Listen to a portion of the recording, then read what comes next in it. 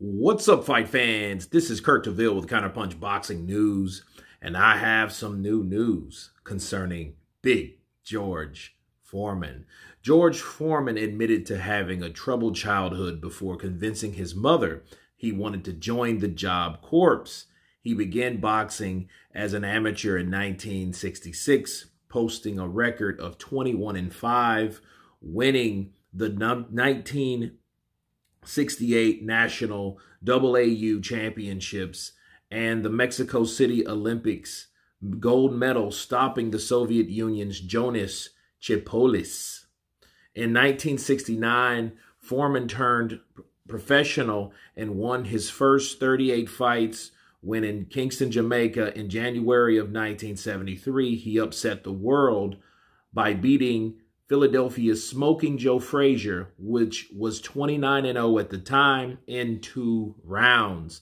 In Foreman's second defense, he stopped Ken Norton 30 and 2 in Caracas, Venezuela in March of 1974. His former trainer, Eddie Futch, told me in Joe Frazier's gym in Philadelphia that he refused to work the corner of Norton for this fight.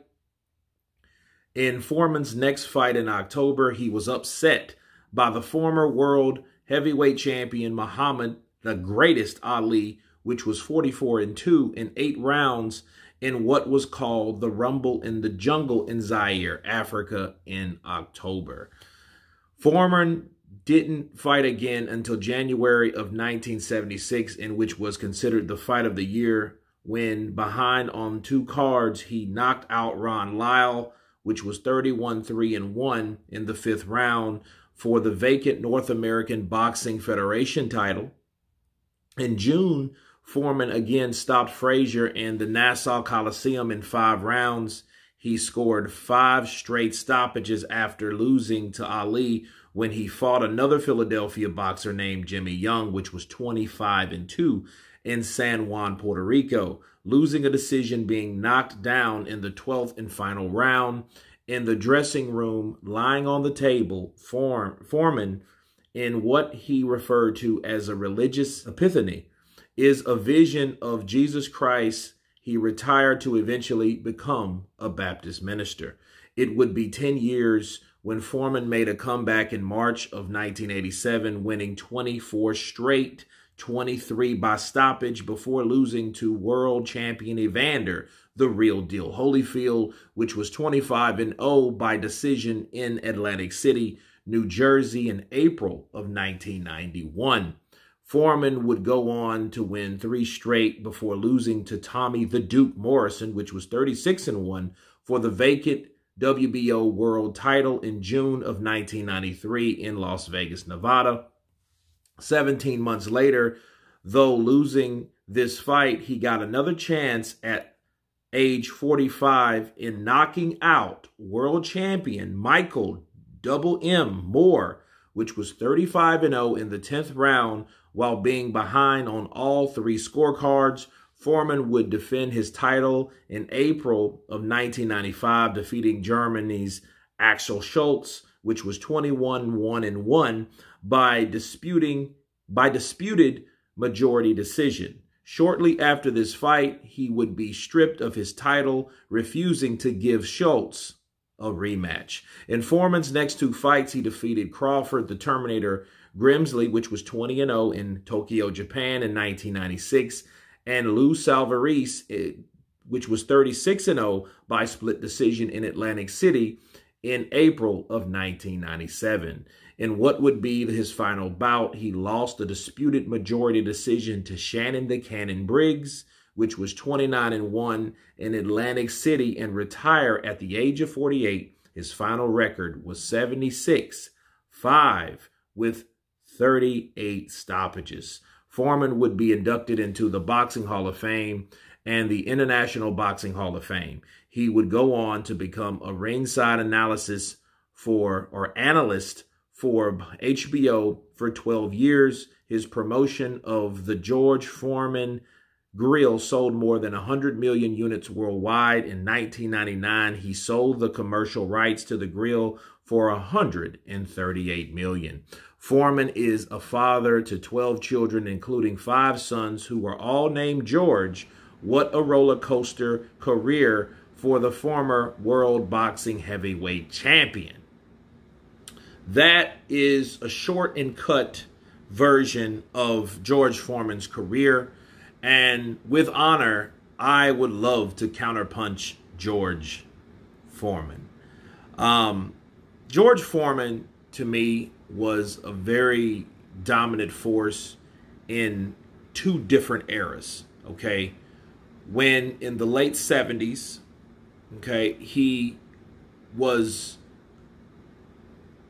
he was the the boogeyman. He was the guy, the young new kid on the block, very strong, very powerful, very American. Okay, despite what was going on at the time, the Texas native was knocking guys out that wasn't accustomed to getting knocked out. He was stopping guys that were taking out legends or at that time very good fighters like Muhammad Ali, okay? The guys that he defeated, he not he snatched the belt from Joe Frazier, okay? Joe Frazier had beat Muhammad Ali in one of the best fights in 1971. But he didn't stop there he beat the guy that also beat that guy, Muhammad Ali, which was Ken Norton, in devastating fashion as he unlocked and ripped uppercuts to Norman's face, giving him no chance but to retreat, retreat, and retreat. Okay. And then he goes in and has an awakening against one of the fighters that is regarded as the greatest of all time, Muhammad Ali and that which ultimately popped his bubble, which he was stopped in the eighth round by the greatest. Okay, in Zaire, Africa, one of the biggest comebacks in recent history.